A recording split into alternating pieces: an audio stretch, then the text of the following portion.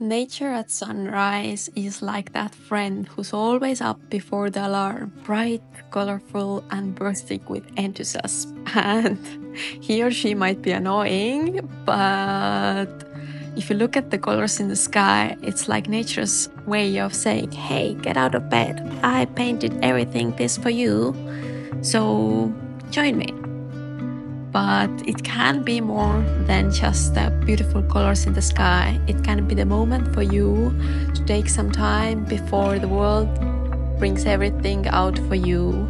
So I'm already proud of you that you, that you opened up this video and you rolled on your mat and you took only this five minutes because some days five minutes is better than nothing. So let's get started.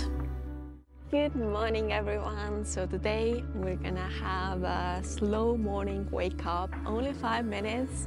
So, just uh, come here, close your eyes, dream that you're here with me in this beautiful forest lake, and take a deep breath in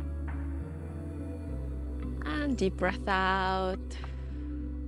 Breath is like the most advanced technology app that we have in our body so use it. Keep on breathing on your own rhythm. And remember that they have done many brain scans how you can affect your brain with just breathing. So use this advanced technology app in your body, even when you don't believe in the yoga voodoo, so-called voodoo. And just use it. So we're gonna breathe in at four, hold the breath two, and breathe out four.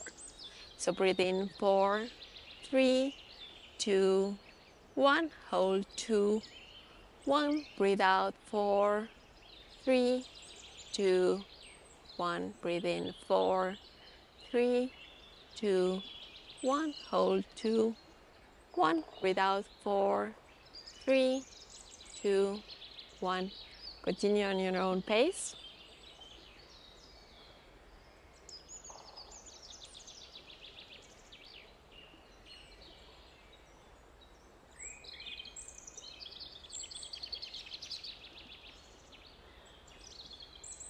And then finish the breathing cycle and open your eyes.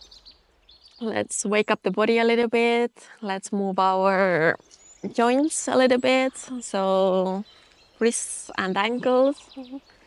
Secret, secret abs workout as well, you know. And then come back to the middle again. And we're gonna go with sitting uh, cat cows. So if you don't feel comfortable on sitting on this mat or like this, then you can always put pillow underneath your or just make it comfortable for you because especially when you feel like you're sitting like this then the pillow is super super useful there were swans here before as well but i think they left hmm. anyways getting off track again but that's what happens when you get off track.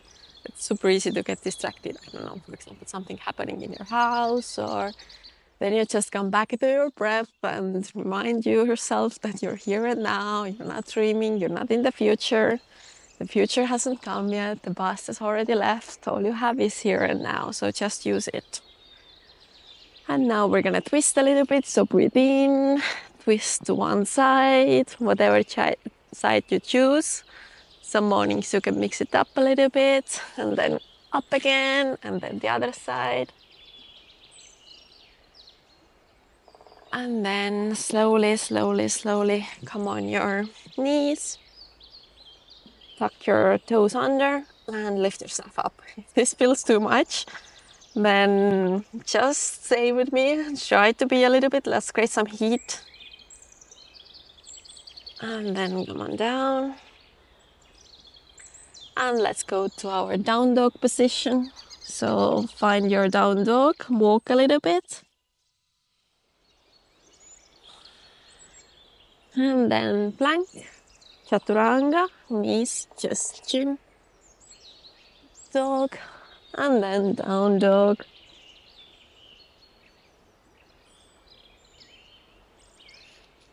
Slowly put down your knees again and lift yourself on your back. Hug your knees in, wiggle from left to right, and find yourself in happy baby pose. Make sure your lower back is down. If you need to, then grab a belt or something like that. And then we go from left to right.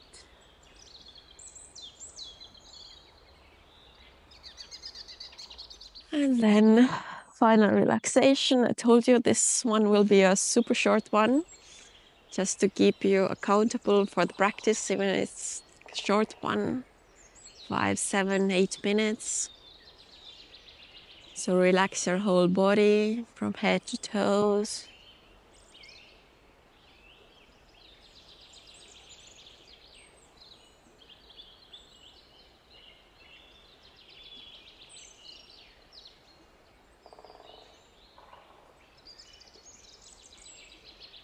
You can lay here longer, otherwise, move your fingers and toes, turn your head left to right.